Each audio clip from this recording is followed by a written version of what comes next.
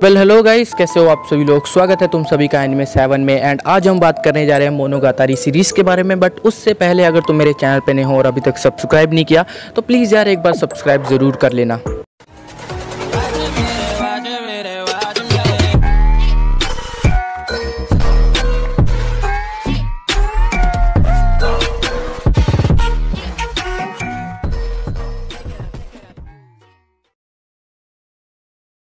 Video में आगे बढ़ने से पहले क्यों ना हम इसके प्लॉट के बारे में बात कर ले तो देखो यार प्लॉट कुछ ऐसा होता है कि जो हमारा मेन कैरेक्टर है, जिसका नाम कोयोमीन अरारागी है, वो एक वेम्पायर होता है। मतलब हाफ़ वेम्पायर और हाफ़ ह्यूमन होता है। एंड एनमे में उसके आसपास तुम्हें सुपर चीज़ें ही देखने को मिलेंगी। जहाँ जाएगा, वहाँ डीमंस देखने को मिलेंगे। जहाँ जाएगा, वहाँ कर्सिस देखने को मिलेंगे। उसका वर्ल्ड मतलब डीमन वगैरह से भरा पड़ा रहता है। एंड इस एनमे में जितने भी उन्होंने वाइफूज यूज़ किए हैं, या फिर गर्ल साइड करेक्टर्स तुम कह सकते हो, उनकी लाइफ में बहुत सारे ट्रबल्स रहते हैं। एंड ट्रबल्स सिंपल नहीं रहते, वो सारे के सारे सुपर रहते हैं।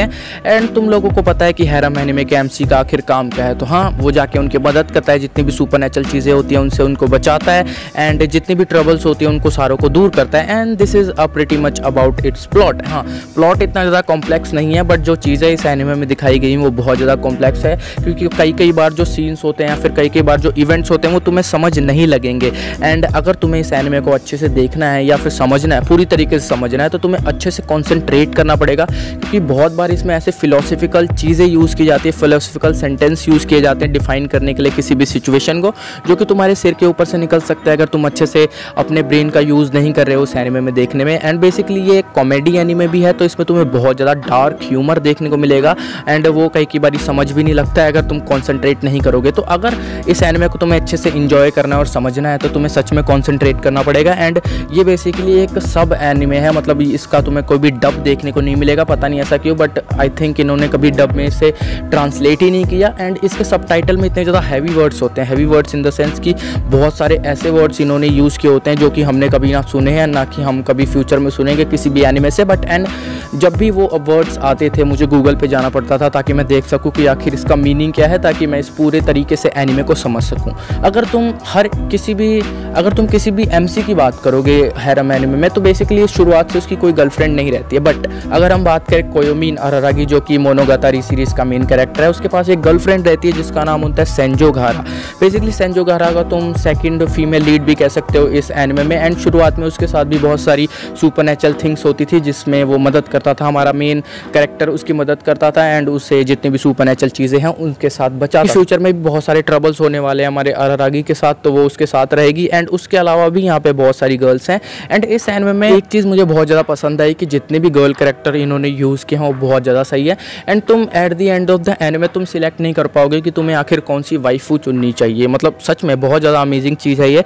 एंड अगर मैं अपने फेवरेट वाइफू की बात करूँ थ्रू आउट द एनिमे तो मुझे दो दो वाइफूज बहुत ज़्यादा पसंद है। सबसे पहले ये हाने का वो सुबह सा जो कि हमारे मेन कैरेक्टर की क्लासमेट एंड फ्रेंड रहती है। एंड उसे एडवाइस देती रहती है because she is quite intelligent and she knows pretty much every thing अगर वाइफू की मैं बात करूँ तो उसका नाम है शिनोबू एंड नहीं नहीं फॉर्म की बात नहीं कर रहा मैं उस फॉर्म की बात कर रहा हूँ जबकि शिनोबू फुल फ्लैज वेम्पायर बन जाता हाँ। हमारे मेन कैरेक्टर के वेम्पायर बनने के पीछे भी कहीं ना कहीं यही रीज़न है जो कि तुम्हें फ्यूचर में एनिमे में जाके पता लगेगा तो हाँ एक बार एनिमे जाके ज़रूर देख लेना। इस एनिमे में जितने भी साइड कैरेक्टर यूज़ किए गए हैं चाहे वो लड़की हो चाहे वो लड़का हो वो बहुत ज़्यादा सही है। एंड तुम कहीं भी बैड कैरेक्टर फाइंड नहीं कर पाओगे। इसमें जितने कैरेक्टर डेवलपमेंट दिखाए गए हैं थ्रू आउट द एपिसोड इस एनिमे के वो बहुत ज़्यादा सही हर एक करेक्टर को इन्होंने अच्छे से डिज़ाइन किया हुआ है जिसमें तुम कहीं भी खामियाँ ढूंढ नहीं पाओ। देखो बहुत सारे लोग क्या करते हैं इस एनिमे को ड्रॉप कर देते हैं। इसलिए नहीं क्योंकि ये एनिमे बहुत ज़्यादा बोरिंग है या फिर बेकार है बट इसलिए क्योंकि उन्हें ये एनिमे समझ नहीं आता। इस एनिमे को थोड़ा सा टाइम दो थोड़ा सा कॉन्सेंट्रेट करोगे इस एनिमे में तो तुम्हें सारी चीज़ें समझ आएँगी। एंड बेसिकली मैं भी इसे ड्रॉप ही करने वाला था एक पॉइंट पर हाने कावा एंड शिनोबू जैसे मैंने कहा मेरी फेवरेट वाइफ हुआ इस एनिमे में। उन दोनों की वजह से मैंने इस एनिमे को देखा बिकॉज़ जो भी हैरम एनिमे देखना पसंद करता है उसे हैरम एनिमे में सिर्फ़ एक ही चीज़ पसंद आती है, वो है वाइफू एंड हाँ वो उसके लिए कुछ भी करेगा, चाहे उसे दस सीज़न देखने पड़े, वो देखेगा। तो हाँ मैंने भी देखे थे उन्हीं के कैरेक्टर्स के लिए बहुत सारे एनिमे देखे हुए। फेट सीरीज़ देखी थी सेबर के लिए जस्ट मार्च कम सेन लाइक लायन मैंने देखी थी अकारी के लिए। भी बहुत सारे एनिमे जो कि मैंने स्पेसिफिकली किसी कैरेक्टर के लिए देखी थी। एंड हाँ इसमें भी कुछ ऐसा ही इस केस है कि मुझे एनिमे इतना ज़्यादा इंटरेस्टिंग नहीं लगा था शुरुआत में बट जैसे जैसे इन्होंने जैसे जैसे इन्होंने करेक्टर डेवलपमेंट दिखाई हर एक करेक्टर की, जैसे जैसे स्टोरी और ज़्यादा मिस्टीरियस होती गई तो मुझे थोड़ा थोड़ा इंटरेस्ट बना एंड हाँ ये फ़र्स्ट रीज़न सेकेंड रीज़न तो ऑब्वियसली वाइफूज है। इस एनिमे में ना तुम्हें बहुत सारी मिस्ट्रीज देखने को मिलेंगी। मतलब कि हर एक मिस्ट्री जो कि इस एनिमे में तुम्हें दिखाई जाएगी, वो इंटरलिंक होती है। जैसे मैंने कहा था कि इस एनिमे के तुम्हें बहुत सारी सीजन्स देखने को मिलेंगे। तो पहले सीज़न की मिस्ट्री में भी तीसरे सीज़न में खुल सकती है। तीसरे सीज़न की मिस्ट्री में भी चौथे सीज़न में खुल सकती है। तो सारे के सारे इंटरकनेक्ट हैं एक दूसरे लिए मोनोगातारी के जितने भी मिस्ट्रीज़ हैं, उन्हें जानने हैं। तो जितने भी सीरीज़ हैं या फिर जितनी भी मूवीज़ उन्होंने रिलीज़ किया, वो तुम्हें सारी की सारी देखनी एंड हाँ इसका जो वॉच ऑर्डर है, वो बहुत ज़्यादा कॉम्प्लेक्स है एंड जितनी भी सीरीज़ या फिर मूवीज़ उस वॉच ऑर्डर में, वो भी बहुत ज़्यादा कॉम्प्लेक्स हैं। तो सिंपल जाके तुम एक बार गूगल कर लोगे और वहाँ पर चेकआउट करोगे कि इसका वॉच ऑर्डर क्या है तो तुम्हें वहाँ पे देखने को मिल जाएगा। बट शुरुआत अगर तुम्हें करनी है सीरीज़ है जो कि है बाकी मोनोगातरी जो सबसे पहले आई थी एंड हाँ मैंने भी वहीं से शुरुआत की थी तो अगर तुम्हें शुरुआत करना है, इस एनिमे में, घुसना है सीरीज़ में पूरी में तो आपको सबसे पहले बाकी मोनोगातरी देखना होगा एंड हाँ मैंने भी वहीं से शुरुआत की थी। अब बात करते हैं इसकी आर्ट स्टाइल की। देखो, किसी भी एनिमे का प्लस पॉइंट हो सकता है उसका। आर्ट स्टाइल एंड इस एनिमे को एनिमेट किया शाफ्ट स्टूडियो ने।